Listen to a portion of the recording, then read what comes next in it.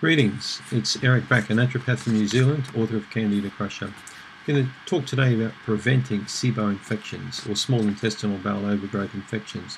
How do you stop from getting them? It's obviously a lot easier to stop something than rather get rid of it once you've got it. But even if you have got it, you can get rid of it slowly over a period of time. This is not an infection that's going to go away in a week or 10 days, you know, like a lot of people think. So taking all these ridiculous crash courses of you know multiple supplements or pharmaceuticals is a pretty dumb idea because you'll find it'll only come back again when you stop that and will have you know probably created more damage in the long run rather than you know working on a, on, on a reduction over a period of time makes a lot more sense to me. It's like your mortgage, you're not going to pay it off in a year. You know, at the most it's going to take several years to pay it and a clever person will work out a program that they can, you know, continually chip away to pay it off in a set period of time. So, how do you prevent SIBO? How do you stop getting it in the first place? And if you have got it, how can you actually get rid of it slowly over a period of time? Well, I've got a list here. I'm going to go through a few things with you, and I want you to take particular attention to what I've got to say. You might even want to watch this video once or twice because there's a lot of information you'll be getting here. So the most obvious thing that you probably want to uh, stop doing immediately if you're serious about your health is to stop drinking all forms of alcohol. So people who drink alcohol, even small amounts on a regular basis, and we're talking one glass a week. If you've, you know, if you suffer from bloating, gas, food allergies, intolerances, any kind of problem like that, you just need to stop and you need to stop for as long as it takes. This could be six months, could be 12 months, but you need to stop for a long period of time. If you're not prepared to do that, just hit the stop button on this video now and go and watch something else. So I really don't think you're going to get very far if you think you can, you know, you can drink small amounts and fix your gut up because it's just not going to happen. Second thing you need to do is to stop pharmaceutical drug use. This is a very important point that a lot of people probably don't really understand is that even small amounts of medicines, um, we call proton pump inhibitors, or drugs that help to stop stomach acid, if you take small amounts of these regularly from time to time, you're never going to get a, a good digestive function because you're going to block the ability of the stomach to produce these acids. So that's what they do, is they inhibit an enzyme that produces the stomach acid.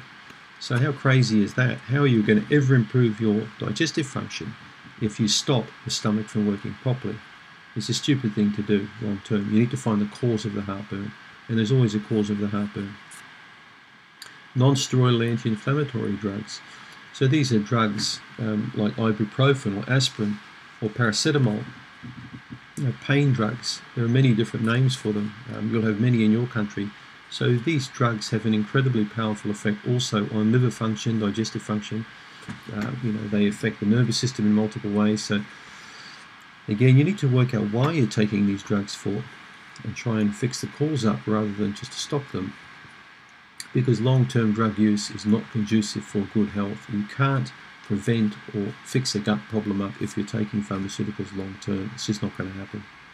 Well, antibiotics, it just goes without question that if you've got any kind of stomach or digestive problem, you're crazy to take antibiotics. It's an absolute crazy idea. Same with the oral contraceptive pill. Same with menopausal pills or any kind of pills like that. It's best that you reevaluate and stop them. Statin drugs, you know, for cholesterol reduction, uh, they affect the body in multiple ways as well. So all of these medications, you need to think carefully why you're taking them. And if your gut problem's bad, you need to fix it up by going to see a doctor talking about that pharmaceutical drug use. You need to follow, of course, a SIBO kind of a diet. So follow, following my Candida Crusher diet approach is a clever move because it basically is in very much in line with what a SIBO diet is.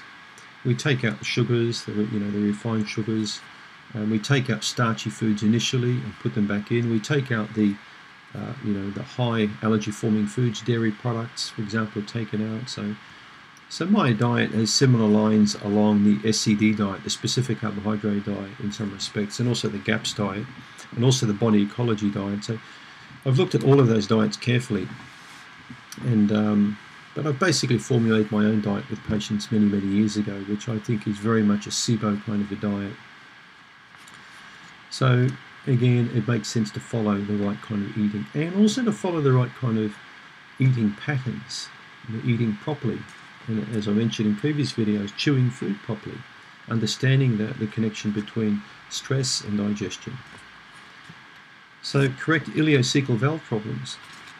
So, the ileocecal valve is a valve really um, between the cecum and the ileum or the terminal part of the small intestine where it connects to the large intestine. Now, some people actually have problems in this area. The valve's not working properly, or there'll be bacteria or yeasts living around there. So, especially if that area is sensitive around here, if you get a sensitivity here, so on this side, it's on the right side, uh, it could be a problem with the valve. Uh, go and see somebody to get this fixed up. There are different kinds of people that can assess this and fix it for you, um, but you need to go and see somebody about this. Sometimes deep tissue massage will help that area. Hot packs, castor oil packs, uh, sauna therapy, detoxification. There's many things you can do to cleanse that area up. Correcting sympathetic dominance. So again, I've done some videos previously about the connection between the sympathetic nervous system and the parasympathetic nervous system and digestion. So these two systems make up what we call the autonomic nervous system. Now I've actually got a chart here to show you. It's a pretty complicated little chart here. So we can see the green on this side is the rest and digest system and this side is the stress system, the sympathetic system. So you can see how these connect up to all the organs. So when we're in a stressful situation, for example, our heart rate goes up, our digestion slows down, our immune system switches off, our blood supply to our limbs increases, and our uh, uh awareness, our acute awareness, you know, uh, goes right up because we need to understand we're getting chased by a dinosaur, so we have to run away. And when we've rested up and the threat's gone, the parasympathetic kicks in. This is the rest and digest. This is the part that we need to initiate to improve SIBO and to help prevent it in the first place. So how do we stimulate the parasympathetic nervous system? There's multiple ways you can do it. Chewing food properly, slowly. Breathing very slowly, and learning to breathe very, very slowly. Read some of my articles I've written on my ericbakker.com about buteyko breathing. It's a very, very powerful way of increasing parasympathetic dominance. Laughing more or enjoying humor, chewing food, laughing, breathing, also yawning and stretching out, and regular naps and relaxation. These are all ways to increase the rest and digest component of the nervous system. This will improve acidification of the stomach. This will improve the movement of food and uh, stool through the bowel. And this will also improve your ability to pass bowel motions. So very clever to do that. You also need to supplement yourself with some enzymes, some digestive enzymes. This will help, really help to improve the stomach.